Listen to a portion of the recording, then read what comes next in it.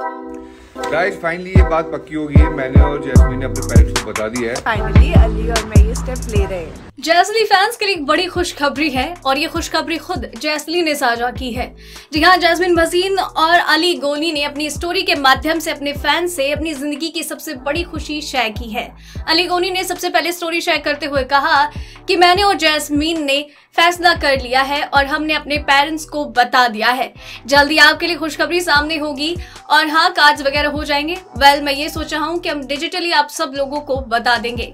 इसके बाद जैसमिन भसीन ने भी अली गोनी की बात को कंटिन्यू करते हुए कहा कि आप लोगों ने अली की स्टोरी देख ही ली होगी और मैं बेहद खुश हूँ कि हम इस स्टेप को लेकर आगे बढ़ रहे हैं। वेल well, जो भी होगा जैसे भी होगा जैसी भी डेट होगी जब भी होगी हम आपको ज़रूर बताएँगे। और आपके सारे प्यार और सपोर्ट के लिए आप लोगों का बहुत बहुत शुक्रिया। जी हाँ फैंस को जिस बात का लंबे अरसे से इंतज़ार था वो पल आ गया है। अली और जैस्मीन भसीन बहुत जल्द ही शादी के बंधन में बनने वाले हैं। और इन दोनों को शादी के बंधन में बंधा देखने के लिए फैंस बेहद एक्साइटेड है।